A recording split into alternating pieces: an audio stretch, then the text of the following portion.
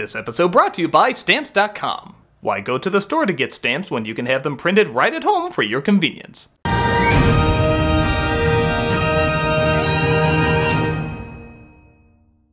Previously on X Month, 13 years ago. Billy, Hey, what's up? I just saw X Men 3. Yeah, how was it? It was awful. Really? They focused a ton on Wolverine. Yeah. Like everyone dies. Dude! And they even kill off Xavier. Oh my god, this sounds like the worst movie ever. It is. I'm gonna hang up now because of how angry I am. As you should. Goodbye, Ten years later. Billy. Hey, what's up? I just saw Logan. Yeah, how was it? It was awesome. Really? They focus a ton on Wolverine. Yeah? Like everyone dies. Dude! And they even kill off Xavier. Oh my god, this sounds like the best movie ever! It is. I'm gonna hang up now because of how happy I am. As you should. This was worth staying in the same spot and never changing my clothes for a decade. Goodbye.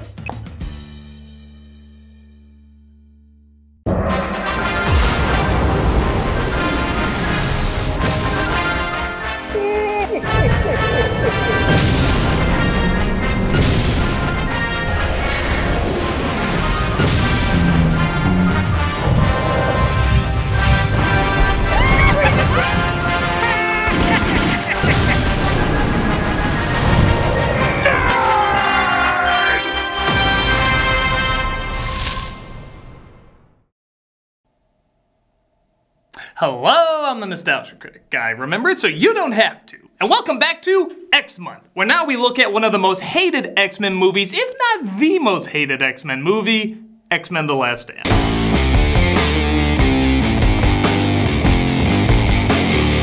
With the directing chair now being filled by Brett Ratner, from one non controversial director to another, X Men The Last Stand was less than a critical darling and an absolutely despised addition to the X Men franchise. Fans hated how many characters died, how unfocused it was, how it seemed to amount to nothing, how it killed President Kennedy, how it caused the Great Depression, and how it directed Norm of the North 2. You couldn't contain the amount of hatred this movie got and still gets today. I kind of have a soft spot for it. Okay, I'm not insane. I know this movie is bad and doesn't work. From a structural standpoint, it's one of the worst sequels ever made, especially when you get to the end. But after how boring and wowless the other two were out of the original three, I kinda consider this one the most entertaining. It has the most risks, the most action, the most color, the most mutants, and the most compelling ideas outside of just Prejudice sucks. Oh yeah, we went there. Sure, its story and characters are weak and the ending doesn't really go anywhere, but I'm kinda used to that in these movies by now. I mean, what's worse, safe, bland, middle of the road tedium, or batshit insanity that never once left you bored? Well, that's the geeky complication we're gonna analyze here today. Let's take a look at the clearly bad, but in my opinion, enjoyably bad, X Men The Last Stand. The film opened several years ago with a mostly convincing age restoration of Xavier, played again by Patrick Stewart. Magneto, on the other hand, played again by Ian McKellen, is looking more like a PS4 character. When are you going to stop lecturing me? When you start listening. and you're here because I need you. Oh, yes, the pictures have told us. They go to visit a young Jean Grey, who apparently has unbelievable powers to make people look less like their action figures. Jean's powers seem to be running amok, but Xavier says he can help her control it. Did you think you were the only one of your kind, young lady? And I hope never to bring this up or think about it the majority of times we meet. Oh, Jean, by the way, to save all the mutants of the world, it'd be extremely helpful if you could, you know, unleash that most powerful entity in the universe thing. Nothing? Nada? God, this better make more sense when your sons are Stark. Meanwhile, at a later date, guys, is this a timeline or a math problem? We get a pretty grisly scene of a young mutant trying to cut his wings from his back. This kid deserves a freaking Oscar for the less than one minute of acting that he's given. Not you. Dad, I'm sorry. Wow, I can't wait to see the development they give this character to justify such horrific imagery. How much screen time does he have? Should I get used to things being dramatically built up with no payoff? Got it. Got it. Got it! Back in the not too distant future's past, we see Storm, played again by Halle Berry, and Wolverine, played again by Hugh Jackman, training young mutants in a lawsuit battlefield. The whole world's gonna hell. You just gonna sit there? Come on, it's the third one. We're all on autopilot here. We're getting killed out here. Oh, you read the reviews. Logan has non Russian Colossus throw him at the threat, and a sigh of disappointment is given when you realize the upside down fake Sentinel head is far better looking than the actual Sentinels we would get later. Class dismissed. Tell Bumblebee I love him. They turn off the holodeck, I mean Danger Room, and they're both owned by the same guy. As Rogue, Anna Paquin, is pissed that her boyfriend Iceman is getting too friendly with another mutant named Kitty Pryde, played by Ellen Page. I mean, something's wrong. What's wrong is I can't touch my boyfriend without killing him. Other than that, I'm wonderful. Again, nailing her character great. Have I ever put any pressure on you? You're a guy, Bobby. Your mind's only on one thing. I'm gonna go talk to that Gambit boy. No, wait, that's what the fans would want. We don't do that in these movies. Meanwhile, Cyclops, James Marsden, is having trouble coping with Jean's death from the last movie. I know how you feel. Don't. When Jean died, I said don't. Maybe it's time for us to move on. You and I, that one night of passion, it's over now. Not everybody heals as fast as you, Logan. Well, I am pretty awesome. We then cut to Beast. I mean Beast. I mean Kelsey Grammer as Beast. I mean Beast. Yeah, they nail Beast. It's amazing how well they got this character down. From his casting to his makeup to his sophistication to his animal like fighting, even him reading upside down. Next to Wolverine and Xavier, this is as perfect a realization of a cinematic X Men can be. A major pharmaceutical company has developed a mutant antibody, a way to suppress the mutant X gene permanently. How am I taking him so seriously when that ridiculous amount of makeup is staring back at me? He looks like a Rogaine Smurf, and yet I'm hanging off of his every word. Even the world they inhabit seems a little bit more evolved. As mutants are now being hired into political office, and people focus less on wiping them out as much as helping them out. Though even that's quite a loaded issue as well. Apparently, a quote, cure for mutation has been found, ironically in a mutant, who can take people's powers away if they come near him. They transform this into a drug that can take mutant powers away, and unsurprisingly, this causes a lot of controversy. I mean, what kind of coward would take it just to fit in? Is it cowardice to save oneself from persecution? This is a callback to one of the best X Men cartoons entitled The Cure, where mutants try to figure out whether or not it's ethical to be free of their powers. Give this movie credit for asking similar difficult questions. Is mutation something to be fixed, like bad vision? Or is it a part of your identity and what makes you who you are? Should you change or society change? Mutants have different responses depending on their powers. Not all of us can fit in so easily. You don't shed on the furniture. Is it true? They can cure us? They can give us real accents? There's nothing to cure. Nothing's wrong with you. Or any of us for that matter. I do also give credit that Storm has a bit more character in this than the previous films, though maybe it's just the better wig. Their affliction is nothing more than a disease. And this site, once the world's most famous prison, will now be the source of freedom. Yes, I'm sure going to Alcatraz to have people who see you as a disease genetically alter you won't be intimidating at all. These so called mutants are people just like us. But I stand here today to tell you that there's hope. You know, I want to listen to this guy, but I keep looking around expecting to see one of the Penguin's goons to flip in and steal his baby. However, some groups are taking this further as Magneto infiltrates an angry gathering of mutants. By the way, doesn't anyone clean up churches in the not too distant future? Make no mistake, my brothers. They will draw first blood. The only question is who will you stand with, the humans or us? I'll be selling my CDs in the back. I live stream Thursdays. You talk pretty tough for a guy in a cape. You know who you're talking to? Do you? The gritty reboot of Sonic the Hedgehog. Meanwhile, Cyclops returns to where Jean was lost, but discovers she's not quite dead. No, you're not. You'll be stone dead in a moment. There's sadly a lot of truth to that. She shows off to Cyclops how powerful she's become by coming back to life, controlling his laser eyes, and as if that wasn't enough, she blows him up. Oh no, not Cyclops. He was a character. Anyway, I've seen Westworld. I know he'll be right back. Get to Alkali Lake. Xavier feels a great disturbance in the X Force, so he sends Storm and Logan to check it out, and they discover Jean is still alive. But how can that be? Well, that much built up Phoenix saga is about to pay off, involving aliens and firebirds and several levels of psychological and physical identity. Her powers wrapped her in a cocoon of telekinetic energy. Okay. Jean developed a dual personality that in our sessions came to call itself the Phoenix. What? What? What? Is the woman in front of us the Jean Grey we know, or the Phoenix furiously struggling to be free? So, no aliens, no firebirds, only one personality, and all of this is happening because of water. Yeah, they say Xavier kept it dormant, but they never said what triggered it back to full force, so the only conclusion we can come to is water. Just add water, boom, crazy. Boy, The Wizard of Oz would have been a different flick if that was the outcome. I have you now, my pretty. Oh, no, you don't, you evil witch. Dorothy, no! You have unleashed the psychotic part of my mind, making me the most powerful force in the world! Yeah, Dorothy, what did you think would happen? Well, I thought she would melt. That is the stupidest thing I've ever heard you say. But I. No! I thought that she. No! No. Oh. Um, I'm still here. So the first person to be given the cure is the creator's son, the boy we saw in the opening named Archangel. In that, the credits call him that, but nobody in the movie ever does. I can't do this. I promise you, it will be fine. Warren, relax. Oh man, I'm glad he didn't take it. Oh, not for any ethical reasons, it's just the wings are the only way I can tell them apart from Malfoy. And just to be overly dramatic. Why no? Doors are for practical people. I'm here to shove a visual metaphor down moviegoers' throats! And maybe that metaphor would have worked if it wasn't used on characters who had less than five minutes on screen. Both the person being watched and the person watching are barely in this. Weird how feeling for an image and relating to an image seem to be intertwined.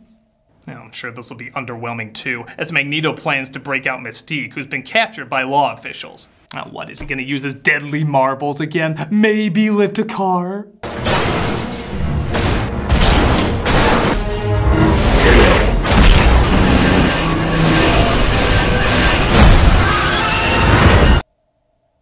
Well, that was awesome. Oh, I mean, uh, nothing's good in this movie! Mm! He breaks her out, which I kind of enjoy, seeing how she broke him out in the previous film, and eh, while in this mutant criminal grocery store, he decides to go shopping. James Madrox. He was arrested for being Seth MacFarlane five times when once was already too many. What did they call you? Juggernaut. He was arrested for quoting internet memes. I'm the Juggernaut! Yeah, yeah, we'll get to it. One of the guards tries shooting the cure at them as Mystique gets hit and transforms into a human. Thus, Magneto abandons her, presumably because she lied about being a real redhead. Such a shame. She was so beautiful. Now, on the one hand, I kinda like this. It emphasizes how deep his prejudice goes, and like most oxymoron bigots, he's consistent in how hypocritical he is. But there is one huge problem with this. The situation should go more like, oh dear. Well, I better take you to my machine that turns people into mutants. I know it had a few problems, but with me being a scientist and there being great breakthroughs in DNA transformation, I can totally work with this. Oh, wait, I guess that's off the table now. Okay, laters. I'm sorry, my dear. You're not one of us anymore. I mean, the fact that she grew up as Xavier's sister was totally fine, but. Yeah, that still doesn't connect to any of these. Beast is outraged that the cure has been weaponized without his knowledge, thus, he tells the president he's resigning. Someone fired or resigning from the president's cabinet? Man, that's rare these days. Have you even begun to think what a slippery slope you're on? I have. And I worry about how democracy survives when one man can move cities with his mind. As do I. You and I know that it's only going to get worse. All the more reason why I need to be where I belong. Wow. Both of them are asking very tough, polarizing questions. Kind of makes you wonder what you would do if you were put in a similar scenario. No, I mean, it sucks! Every part of this sucks! It's Transformers 12.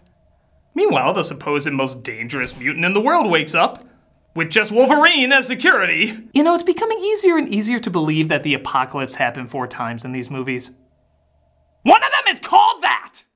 And it appears she's not in control. Look at you, Logan. He's tamed you. Jean?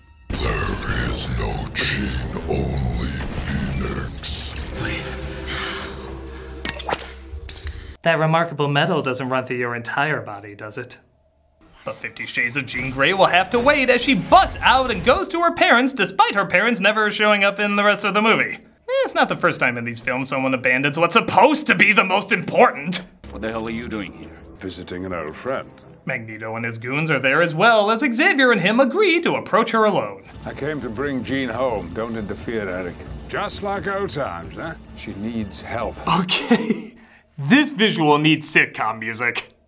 One's a peaceful professor, the other a genocidal extremist. Together, they have to convince a woman not to blow up the world because everyone thinks the Dark Phoenix is the only part of the Phoenix there was. Can they stop her insanity while having a little fun along the way? Fox presents Jean Luc and Gandalf, some wacky wit from wacky Brits. They do a good job making Jean pretty intimidating and downright creepy at times, but for going back to her childhood home, there's no exploring her past, her psychology, what led her to this mental state. She just starts tossing shit. Yeah, it's not like the Phoenix had any mental play whatsoever. That's it. Even the fight, despite it being impressively choreographed, doesn't make a whole lot of sense. Magneto says, Nobody gets inside. Well, obviously, the first thing to do then is throw him inside. Though, let's be honest, that was only done for this stunt. Which makes no sense, but I still friggin' love. As Jean takes house flipping a little too seriously, Xavier gives Logan one final look before being turned into powdered X-Lax. That's the look of a guy saying, You're going to be changing me in the near future. So X-Man Xavier is extinct as Magneto steals Jean away and the X-Men realize they have to carry on not only without their leader Cyclops, but without their mentor Xavier as well. Gee, I've never seen that done in these movies before. We must carry on his vision of a world united. This hits our X-Men pretty hard, especially, oh, which one was Juno again? Kitty. Oh yeah, Kitty Pryde. It has been over 40 minutes since we've given her or Iceman a scene, so Yeah, there's nothing to help get over the death of your mentor like flirting with someone you barely know while your current girlfriend watches. What an X-hole! Where are you going? You don't know what it's like to be afraid of your powers. Hello? I want to be able to touch people, Logan. I hope you're not doing this for some boy. No, it's for some boy. Oh yeah, that's totally what I'm doing. Look, if you want to go, then go. Just be sure it's what you want. Well, I don't know if it's what I want. I haven't asked Bobby yet.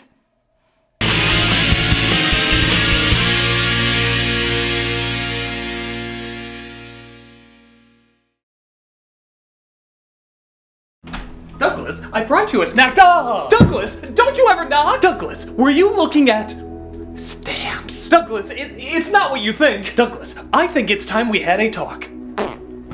Douglas, it's perfectly normal for a human being to want to look at stamps. Douglas, do you really mean it? Douglas, the only problem is it's such a hassle to go to the post office to pick them up. Douglas, you shouldn't have to go to the post office or just look at them online. You can print them out at home at stamps.com. Douglas, wow! Douglas, I'm talking.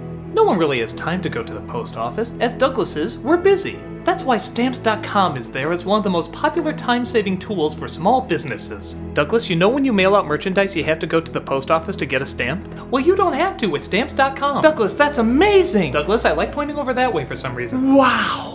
Stamps.com brings the amazing services of the US Postal Service right to your computer. Whether you're a small office sending invoices, an online seller shipping out products, or even a warehouse sending out thousands of packages, Stamps.com can handle it all with ease. Wow! Douglas, stop saying that. Wow! Douglas, I take it back, it's growing on me. Wow! Douglas, it's annoying me again. But Stamps.com isn't. Wowie wow wow! Simply use your computer to print official US postage 24 7 for any letter, any package, any class of mail, anywhere you want to send. Once your mail is ready, just hand it to your mail carrier or drop it in the mailbox. It's that simple. Wow. Douglas, I just haven't said Douglas for a while, so I'm saying Douglas. Wow! With stamps.com, you get 5 cents off every first class stamp and up to 40% off priority mail. Not to mention, it's a fraction of the cost of those expensive postage meters. Stamps.com is a no-brainer, saving you time and money. It's no wonder over 700,000 small businesses already use Stamps.com.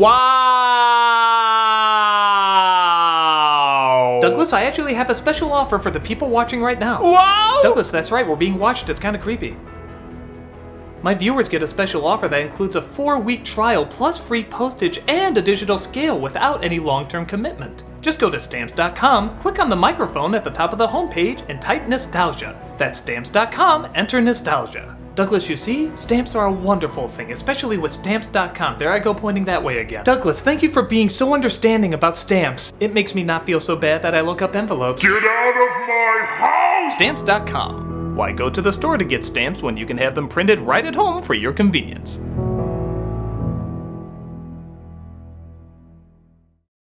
Everybody, just letting you know we're gonna be at C2E2 in Chicago. That's me, Brad Jones, Rob, Malcolm, Tamara, and a whole bunch of the Channel Awesome gang are gonna be there. We also have a panel, Movies Everybody Disagrees With You On, where you get to talk about the movie that everybody, well, disagrees with you on. It's your panel, it's a lot of fun. We've gotten a booth at this con a ton of times, it's a lot of fun, and we'll see you there.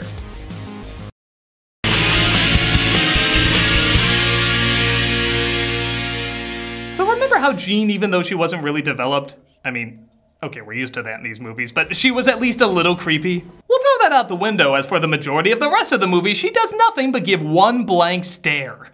Again, something we've sadly become familiar with in these films. She made her choice. Now it's time we make ours. So if you're with us, then be with us. Again, give credit that at least Storm has a bit more character, taking a little bit more charge, and this maybe kind of ties into fans that believe she should have been the leader of the X Men instead of Cyclops. But every time Jean is even close to being more developed, they always push away. In some cases, literally, like when Wolverine tries to track her down. I came for Jean. Do you think I'm keeping her against her will? Sorry, we're paying her by the line in this one. You should have seen the deal we got with Cyclops.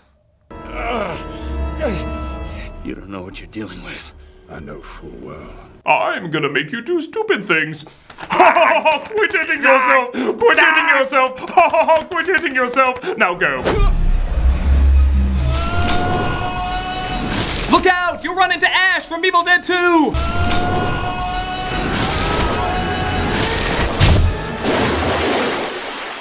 The SWAT team finds Magneto's army, but it turns out it was just multiple man as a diversion. Okay.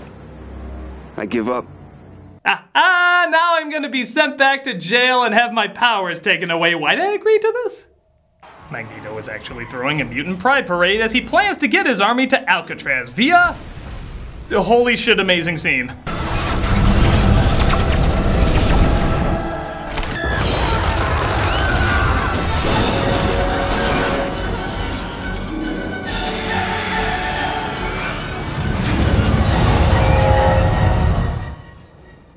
Jesus Christ, that's not X-Men at all. No, no, not at all. That's you never see that in a comic. It's not imaginative, not big or epic or anything like that. It's it's it's lazy. It's it's it's it's stupid. It's incompetent. It's God, that still holds up.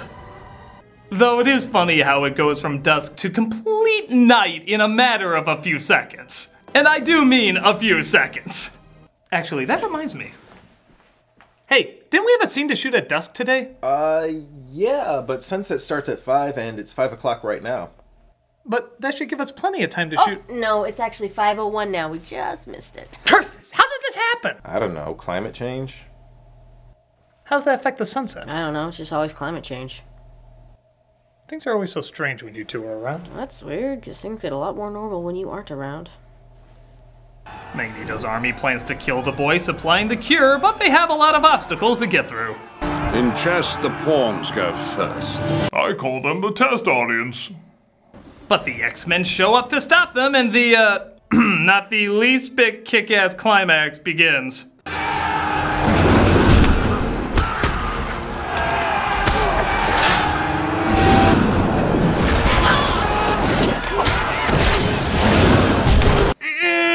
Trying to find something awesome in this movie.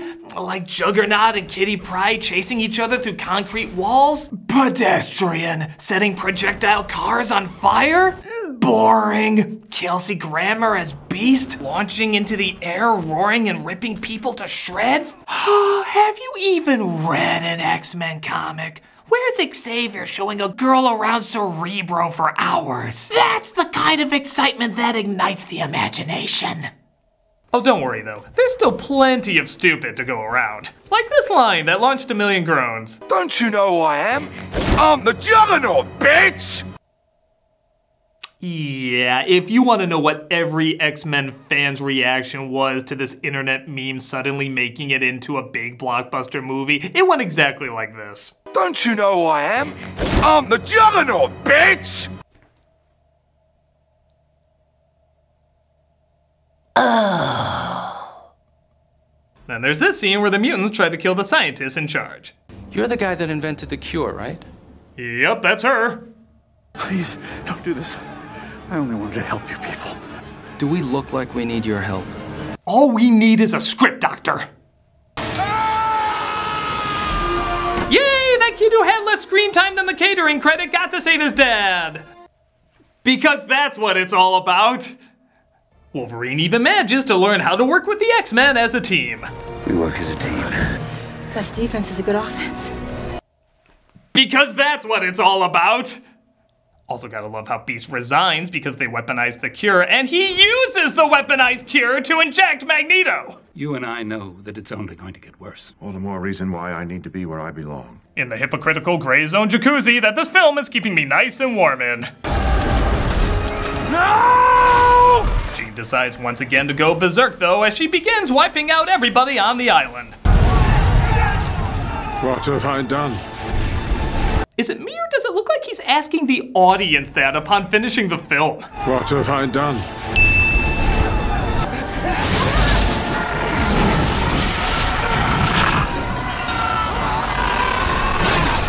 Wonder if this is Thanos' porn? Like he just stays up late at night like Oh yeah, turn him to dust, you sexy thing. Turn him to dust. God, I'm lonely. It looks like Wolverine is the only one who can approach her due to his fast healing. I guess that kind of looks like a firebird, even though you promised us an actual firebird, but I guess that meant a symbolic firebird.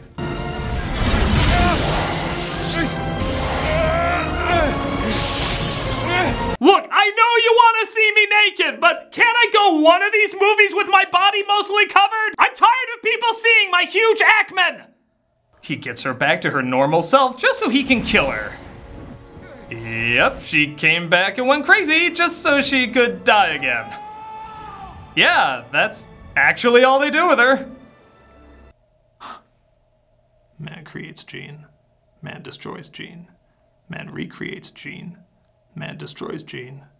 Man, this movie's bullshit. And the ending only gets worse from here. We see Kitty Pryde at Xavier's grave. Because clearly no other character had a stronger connection with him. As these movies have now gone full force into making Rogue barely recognizable to 100% unrecognizable as she had her powers taken away. This isn't what I wanted. I know. It's what I wanted.